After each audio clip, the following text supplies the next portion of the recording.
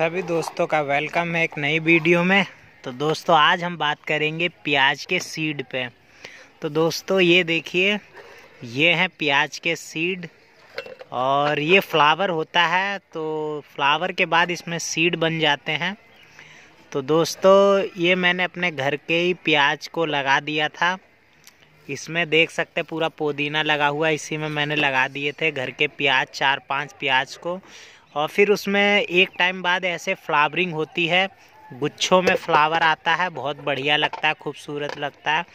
और फिर डेढ़ से दो महीने बीतने के बाद उसमें सीड बनने शुरू हो जाते हैं।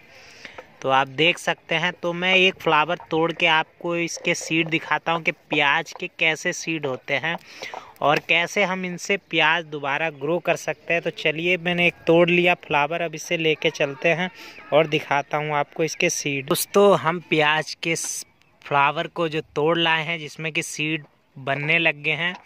अब इसके सीड को, अभी इसको हमें और सुखाना है।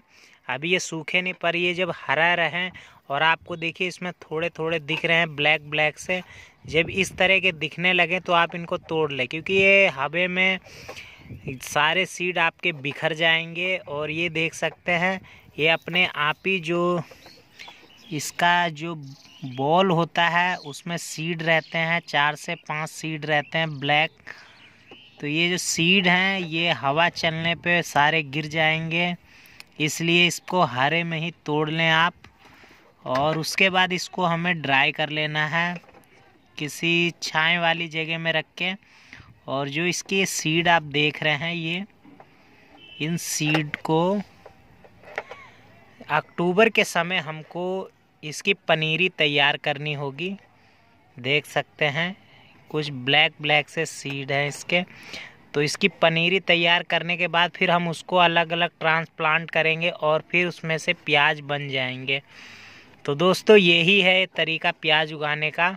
अगर आपको फ्री के ही सीड चाहिए, प्याज आप अपने घर में तैयार करना चाहते हैं तो आप इस तरह से तैयार कर सकते हैं। तो अब मैं ये चार पाँच जो इसके फ्लावर हैं, ये मैं तोड़ के रख लूँगा और अक्टूबर के समय मैं वीडियो अपलोड करूँगा अपने यूट्यूब चैनल पे। कि हम कैसे अपने घर के सीड तैयार करके और उनसे प्याज तैयार करें।